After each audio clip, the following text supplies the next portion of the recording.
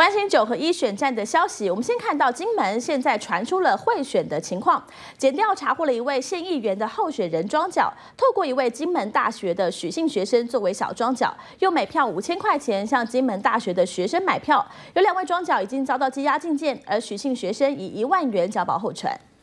第一选区的先员候选人